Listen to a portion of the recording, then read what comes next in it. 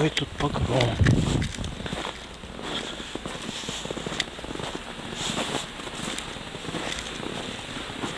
В столетнем доме.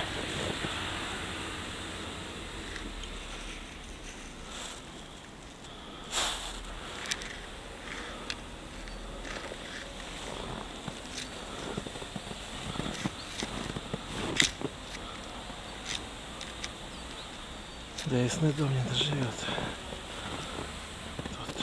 гадать нечего.